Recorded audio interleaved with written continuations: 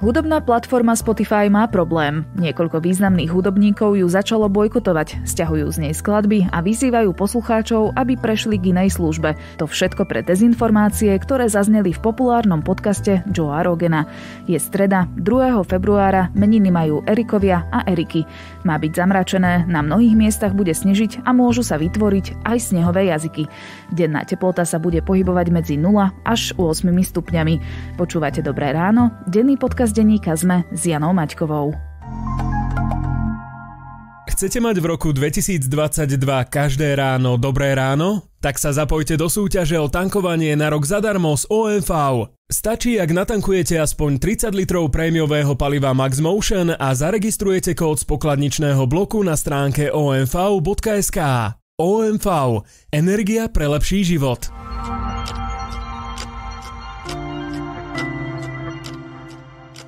Najprv krátky prehľad správ. Prezidentka Zuzana Čaputová v súvislosti s napätím na Ukrajine vyhlásila, že posilnenie obrany našej východnej hranice a východného krídla NATO spojeneckými silami je v našom záujme. Aktuálna situácia jej pripomína rok 2014, keď sa odohrala anexia poloostrava Krym. Rodičovský bonus, ktorým chce minister práce Milan Krajniak kompenzovať nižšie dôchodky ľudí, ktorí vychovali deti, zatiaľ nemá podporu koalície, povedal minister financí Igor Matovič. Tvrdí, že na bonus treba nájsť zodpovedné a dlhodobo udržateľné peniaze. Dvojdávková vakcína od spoločnosti Novavax príde na Slovensko koncom februára, informoval o tom minister zdravotníctva Vladimír Lengvarský. Tento týždeň zasadne komisia odborníkov, ktorá určí, pre ktoré osoby bude prioritne určená. Komisárku pre deti bude parlament voliť 17. februára. Poslanci majú komisárku vybrať z dvoch kandidátok. O post sa uchádza Maria Vargová a Katarína Hatráková Zolano. Mimovládne organizácie poslali poslancom otvorený list, v ktorom kritizujú Hatrákovú za vyjadrenia zľahčujúce domáce násilie. Medzi osobnostiami, ktoré tento rok nominovali na Nobelovú cenu za mier sú britský prírodovedec David Attenborough, bieloruská opozičná líderka Svetlana Cichanovská, väznený kritik Kremľa Alexej Navalny či pápež František. Meno laureáta zverejnia až v oktobri. Viac podobných správ nájdete na Sme.sk alebo v mobilnej aplikácii Denníka Sme. Legendárny hudobník Neil Young a hudobníčka Johnny Mitchell dávajú populárnej službe Spotify stopku. Ide o reakciu na jeden z najpopulárnejších podcastov moderátora Joea Rogena, v ktorom zaznievajú zavádzajúce informácie ohľadom pandémie a očkovania proti COVID-19. Spotify sľubuje, že k podobnému obsahu pridá varovanie s odkazmi na relevantné články, no podcastu Joea Rogena sa vzdať nechystá. Prečo služba preferuje zavádzajúci obsah pred protestujúcimi hudobníkmi? A čo kauza vypovedá o jej zodpovednosti za šírenie dezinformácií? Budem sa pýtať kolegu Davida Tvrdoňa, ktorý je tvorcom technologického podcastu Klik. The rock legend gave the streaming service an ultimatum demanding that his music be removed from the platform if Rogan's podcast remains on it because he says Rogan's podcast is, quote, spreading fake information about vaccines. Well, it didn't take Spotify very long to decide here. Joining us now to discuss David, počúvaš podcast The Joe Rogan Experience? Iba keď nemusím kvôli práci. Čiže napríklad teraz? Napríklad teraz. Ja sa k nemu vraciam tak pravidelne, pretože môžeme povedať, že ide o najpopulárnejší podcast na svete je jednotka v Spojených štátoch, čo je najviac rozvinutý podcastový trh. Počúva ho veľa ľudí u nás. Tvorcovia podcastov sa ním inšpirujú po celom svete. V podstate inšpiroval viaceré podcasty aj na Slovensku, ktoré sa k nemu hlásia a hovoria, že vďaka nemu začali robiť ten podcast, ktorý robia. A odkedy pred dvomi rokmi podpísal Joe Rogan exkluzívnu zmluvu uh, zo Spotify, že ten podcast je len na Spotify, tak sa dostal pod taký väčší drobnohľad, pretože zrazu stojí pod technologickou firmou. Nie je to teda, že len veľmi populárny nezávislý tvorca, ale je to zrazu niekto, kto pracuje pre spoločnosť, ktorá má dopad na niekoľko 100 miliónov ľudí a tí platia tejto platforme, teda Spotify, a za posledné dva roky sa pravidelne objavujú škandály, vďaka ktorým, alebo tak kvôli ktorým sa musím vrátiť k tomu podcastu a vypočuť si ho. Dobre, ja len doplním, že tá transakcia medzi Spotify a Joe Roganom bola za 100 miliónov dolárov pred dvomi rokmi, keď ho teda exkluzívne kúpili na svoju platformu. O čom tento podcast vlastne je? Ten podcast v podstate je rozhovor dvoch a viacerých ľudí. Joe Rogan je, je bývalý komik, moderátor, herec, v showbiznise sa pohybuje už niekoľko desiatok rokov. Uh, začal tento svoj podcast robiť veľmi, veľmi dávno. V podstate ide jeden o taký z prvých podcastov, ktoré sa stali že veľkými, populárnymi. Zaujímavé na ňom je, alebo možno by niekto mohol povedať, že je unikátne, tak teda jednak ten samotný, samotný moderátor Joe Rogan a potom ten štýl, že ide e, robiť rozhovory s jednou osobou aj s, aj s veľmi populárnymi osobami, bol tam veľa hollywoodských hercov a boli tam rôzne celebrity u neho, hudobníci. A tie rozhovory majú dve aj tri hodiny často. A čo teda v posledných dňoch alebo týždňoch vyvolalo tú kontroverziu okolo tohto podcastu?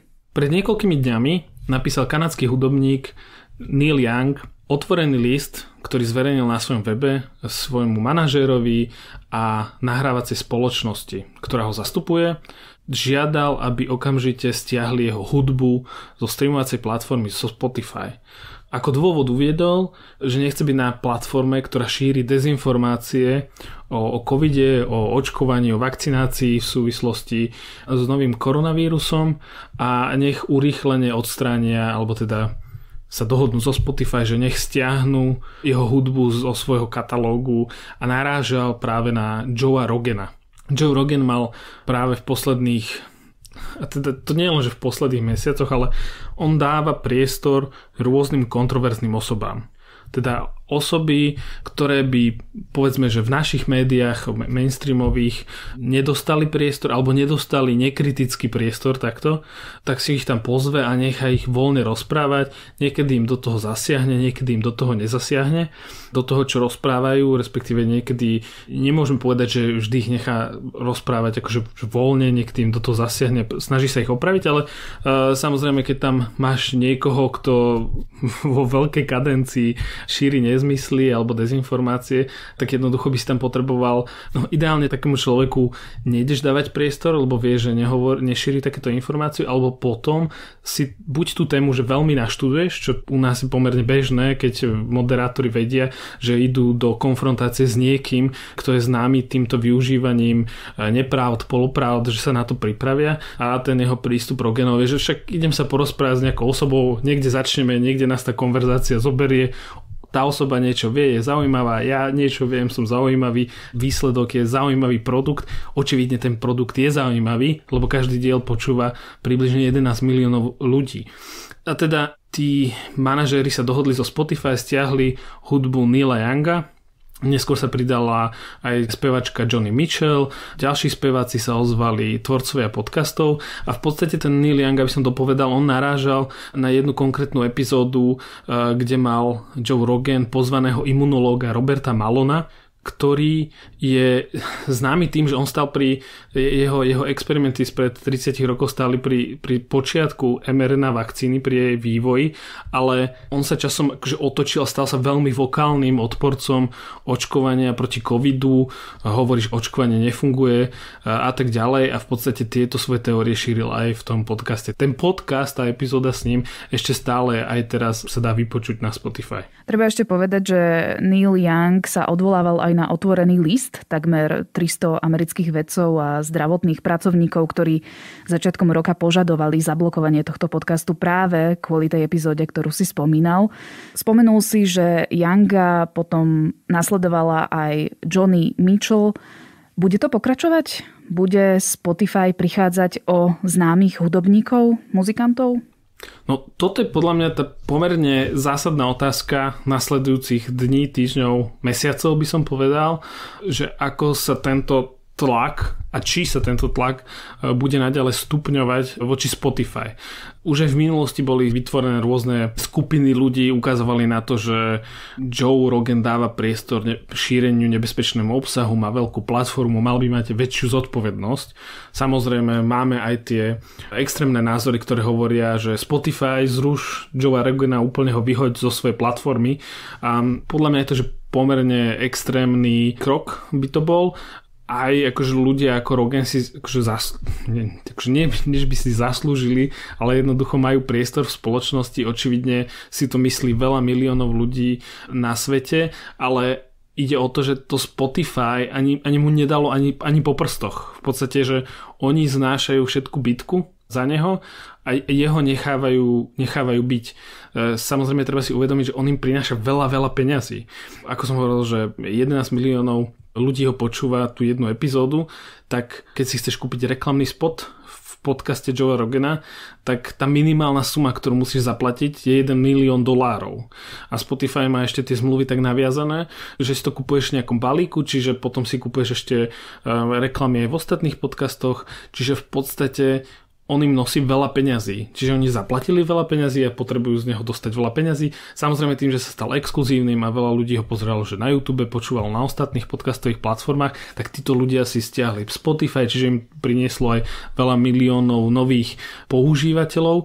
Ale teda by som povedal, že, že čo s tým akože Joeom Roganom je jednoducho, že zatiaľ nie je vidieť ani tá snaha, že by mu niekto išiel akože dohovoriť, že daj si, daj si pozor. On síce v podstate na tento najnovší škandál natočil také 10-minútové video na Instagram, kde hovoril, že ho mrzí tlak na Spotify. Um, so uh, I want to thank Spotify for being so supportive during this time, uh, and I'm very sorry that this is happening to them and that they're taking so much heat from it. And so now the the Neil Young story. when I, I, I first of all, I'm not mad at Neil Young. I'm... A že sa bude v budúcnosti snažiť dať priestor viacerým názorom, ale práve to je ten problém, že on dáva veľký priestor viacerým názorom a v podstate, ak by sme sa bavili o tom nejakom akože, že vnútornom kompase toho človeka, tak ja by som pokojne povedal, že, že, že je vychylený a neexistujú nejaké akože hranice, ktoré by držali.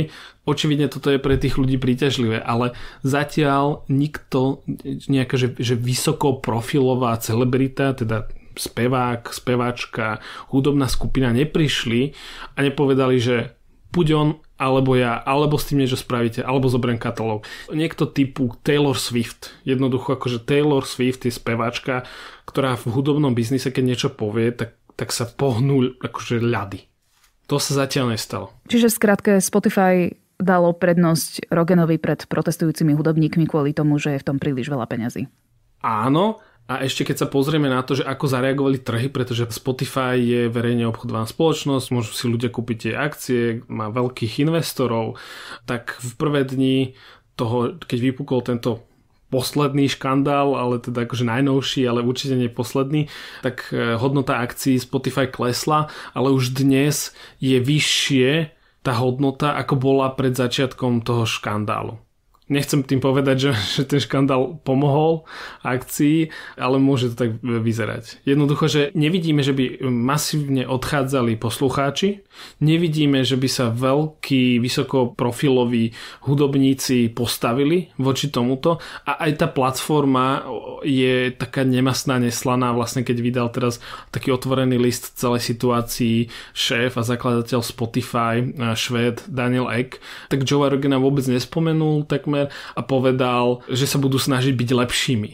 A veľa, veľa novinárov, analytikov a komentátorov práve povedali, že, že ten list, ktorý napísal, tak pokojne by sa pod neho mohol napríklad podpísať Mark Zuckerberg, a tie formulácie a to znenie je veľmi podobné, ako keď sa Facebook ospravedlňuje za niektoré svoje škandály, ale tam si treba uvedomiť ten veľmi veľký rozdiel medzi Facebookom a Spotify. Spotify chce tvrdiť a tvrdí o sebe, že oni nie sú mediálna spoločnosť, oni nie sú vydavateľ obsahu, oni sú len platforma, na ktorej ten obsah existuje. To isté hovorí o sebe Facebook. Ale na rozdiel od Facebooku, Spotify vlastní vlastné obsahové produkčné štúdia jednoducho sú podcastoví tvorci, ktorých, tvori, ktorých platí Spotify, aby robili podcasty len na Spotify. Medzi takýchto patrí aj Joe Rogan. Facebook napríklad licencuje tiež obsah, že v krajinách ako sú Spojené štáty alebo Veľká Británia tak vo Facebook appke existuje taký news tab, v podstate akože keď si chceš čítať správy a Facebook platí médiám, ktoré majú správy na svojich weboch ako platený obsah, tak v tej Facebook aplikácii, v tejto, v tejto časti si ich môžeš prečítať zadarmo. Čiže to je licencovanie obsahu. Ale keď sa dostaneme k tomu, že li, exkluzívne licencovanie obsahu, že, že by sme sa rozprávali o tom, že niekto vyrába obsah len pre Facebook, tak by sa Facebook dostal do podobnej situácie a tá kritika by bola určite ešte ostrejšia. Ale Spotify v tej situácii je dobrovoľne a v podstate je to stratégia, ktorú si zvolili a veľa e, investorov im to v podstate potvrdzoval, že áno, že, že prilákate používateľov tým, Spotify má asi 400 miliónov používateľov po celom svete, viac ako 200 miliónov z nich je, je platiacich a v podstate hovorí, že tá stratégia ich je, že mať všemožný audio obsah na platforme a tým, že budeme mať exkluzívny obsah, tak nám budú chodiť ľudia a to im zatiaľ vychádza. Len chýba teda to B, tá zodpovednosť za ten obsah. Spotify ale už e, roky naráža na protest hudobníkov aj z iných príčin a teda za streamovanie ich hudby majú autory len mizivé percento tržieb alebo teda zisku. Táto kauza, keď e, Spotify uprednostnil kontroverzného podcastera pred hudobníkmi, službe asi veľmi na renomé nepomôže. Tam sa treba pozrieť na to, že existuje len nie veľké percento hudobníkov, ktoré majú Spotify ako platformu, z ktorej zarábajú peniaze. Jednoducho musíš mať veľa vypočutí, aby si dostala toľko peniazy, aby si mohla z toho žiť. Čiže pre veľa hudobníkov je Spotify ako propagácia. Jednoducho púšťaš tam fanúšikom svoju hudbu, tí potom prídu na koncerty. Spotify pracuje v posledných mesiacoch, alebo teda odkedy začala pandémia, aj na spôsoboch, ako toto e, dostať do virtuálneho priestoru, pribudli tam lístky, môže si kúpiť lístky na koncert, ísť potom na virtuálny koncert a tak ďalej. Čiže pre viacerých autorov je Spotify skôr ako Facebook. S tým rozdielom, že si tam ľudia môžu ísť akože vypočuť tú ich hudbu a preto vlastne som hovoril aj o tých vysokoprofilových, ktorí majú zo Spotify uh, veľa peňazí. Spotify bude ponovom pri podcastoch týkajúcich sa pandémie, covidu a očkovania odkazovať na relevantné stránky s nejakými faktickými informáciami. Prečo až teraz? Lebo keď si zoberieme napríklad sociálne siete ako Facebook, Instagram či YouTube, tak uh, u nich to funguje už dlhšie. V podstate teraz nemuseli, oni mali taký hub, myslím si, že od začiatku pandémie, kde zhromažďovali obsah, podcasty, rôzne audio, ktoré bolo od renomovaných médií ako BBC, New York Times, ktoré vysvetľovali koronavírus, očkovanie a tak ďalej. Teraz jediné, čo sa zmení v podstate po tomto najnovšom škandále je, že príbudne pravdepodobne nejaký, nejaký maličký oznam, ktorý e, ľudia v aplikácii uvidia ako nejaké upozornenie, ale takéto upozornenia, presne ako si povedala, vidíme na Facebooku, Instagrame, Twitteri, na rôznych sociálnych sieťach. Viacerí robili výskum, ako tieto e, v podstate odznaky pomáhajú tomu, že, že sa menej šíria dezinformácie a teda veľký e, vplyv to nemá. A na druhej strane nie je to také pokritectvo tejto veľkej firmy, že kontroverzný obsah radšej nezakážem, ale radšej dám upozornenie na to, že OK, toto môže byť trošku dezinformačne ladené a tu máte všetko, čo k tomu potrebujete vedieť naozaj. Podľa toho, koho sa spýtaš, tak takú, takú odpoveď dostaneš. Ja by som povedal, že urč, určite áno. Najmä keď sa pozrieme teda na tie fakty, že mohli by sme dať teraz akože rovnátko medzi Denník Sme a Spotify a keby sme my spravili prešlap na našom webe s nejakým obsahom, tak by nám ľudia povedali, že toto bol krok vedľa, naši predplatiteľi a poslucháči, keby si nahrala nejaký zlý podcast, tak veľa poslucháčov by sa ozvalo a ty by si sa nemohla tváriť, že no ale tako, že to je podcast, to je niečo iné, to nie je náš obsah. A to by sme samozrejme nespravili. Jednak by určite za teba prišla e, naša šéf-redaktorka, ale, ale pravdepodobne sa taký ten obsah ani nedostal von, pretože máme nastavené tie mechanizmy a teda aj nejaké e, záchranné mechanizmy, ktoré keď proste to prejde cez jedno si to, tak to druhé si toto zastaví alebo tretie si to, alebo keby sa to aj dostalo von, čo sa v minulosti stalo aj nám, nejaké prešlapy, tak by sme taký obsah buď dali dole, dali na miesto neho ospravedlnenie, ale teda priznávaš sa k tomu, že áno, ty si spravil chybu, Spotify v podstate toto teraz vôbec nerobí, čiže samozrejme na každého zvážení, ako si toto interpretuje, ale určite akože z môjho pohľadu dnes existuje veľa alternatív, ktoré ľudia môžu použiť eh, namiesto Spotify, ale je to pohodlné neurobiť. Jednoducho akože že Neil Young je trocha staršia generácia poslucháčov. Dalo by sa povedať, že našich generácií sa to úplne netýka, nerezonuje jeho meno, preto by bolo možno fajn, keby sa niekto z tých akože známejších celebrít ozvali, ale hovorím, že to zatiaľ nie je ani vo výhľade. Ja som teda čítala taký tweet, že Taylor Swift by mohla jedným tweetom ukončiť show Joea Rogena v Spotify na to asi naražaš. Áno, to napísala novinárka New York Times, alebo teda komentátorka New York Times Kara Swisher, ktorá vlastne vysvetlovala svoj pohľad. E, ona tiež vlastne hovorila, že ona by Joe Rogana nezrušila, ale jednoducho akože z pohľadu ich vzťahu zo Spotify nastavila nejaké mantinely. Pokojne si môžem povedať, že iné príklady, ako reagujú iné firmy, napríklad Disney. Pred niekoľkými mesiacmi bol príklad, kedy herečka Gina Carano prirovnala na sociálnej sieti republikánov k Židom počas holokaustu. Čo následovalo je, že Disney s ňou automaticky rozviazalo hociakú budúcu spoluprácu. Tá firma tak chráni tú značku, že tá citlivosť je u nich posunutá. Spotify je mladšia firma, u nich pravdepodobne ten vzťah a tá zodpovednosť k tej značke je ešte stále formovaná, je to akože smutné, ale ani po viac ako desiatich rokoch stále pracujú na tých nastaveniach e, mantinelov a toto nie je určite posledný škandál, v ktorom sa o tomto budeme rozprávať. Aké ponaučenie táto kauza prináša či už uh, takýmto streamovacím platformám alebo sociálnym sieťam na ktorých stále vidíme, že dezinformácie sa šíria, že hoaxy sú veľmi populárne. Je niečo, z čoho by sme sa mohli poučiť v tejto kauze? Také univerzálne poučenie, ktoré myslím, že dokola opakuje aj Tomáš Prokopčak je, že mohli by sa práve tieto platformy učiť od médií, ktoré už stovky rokov alebo desiatky rokov majú nastavené tie pravidlá fungovania, čo sa pustí von, ako má vyzerať redakčný obsah a toto všetko je verejne publikované, každý sa môže si prečítať, že ako to funguje. Takže to je jedna vec, keď sa bavíme o platformách, ktoré majú exkluzívny obsah a teda sú v pozícii v podstate mediálnych domov vydavateľov. Zložitejšia by bola tá odpoveď na otázku, keby sa spýtala ohľadom, ohľadom Facebooku alebo sociálnych sietí, ale je mi ľahšie odpovedať, keďže sa rozprávame o Spotify a ten vzťah s tým obsahom a tá zodpovednosť je tam veľmi priama. Ľudia v médiách, aj čo som si čítal veľa komentárov, práve od ľudí z médií, tak hovorí, že pre ich to akože, že nie je ani otázka, akože, že kde je problém. No proste akože problém je tam, že ty zamestnávaš človeka, ktorý dáva priestor problematickým ľuďom s problematickými názormi a potom to nie je konfrontované s realitou a dostáva sa to k veľmi širokému publiku. To je problém. To bol David Tvrdoň, ktorého každú sobotu môžete počúvať aj v podcaste Klik. Vďaka. Čo nás čaká v roku 2022 v oblasti bankovníctva a aká bude jeho budúcnosť? Čím sme žili minulý rok a kvôli čomu budú klienti navštevovať pobočky bank navždy? Volám sa Mário Šmíkal a aj na toto sa pýtam generálneho riaditeľa 365 bank Andreja Zaďka.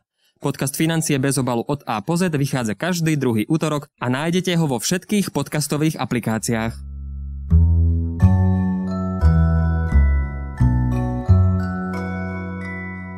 Vycestoval do Bangladeša krátko potom, ako sa tam v roku 2013 zrútila 8-poschodová textilná továreň Rana Plaza a pochovala asi tisíc ľudí. Zistil, v akých podmienkach pracujú šičky, že dohodnutá minimálna mzda existuje len na papieri a aké zdravotné problémy prináša napríklad vyšúchavanie džínsov. No a to všetko stále funguje s nemým súhlasom veľkých odevných spoločností a bohužiaľ aj nás, zákazníkov. A ak by ste chceli dnes niečo počúvať, Môžete si zapnúť náš Klíma podcast, Zoom alebo Vedátorský podcast. Na dnes je to všetko. Počúvali ste Dobré ráno, denný podcast denníka ZME, tentoraz s Janou Maťkovou. Do počutia opäť zajtra.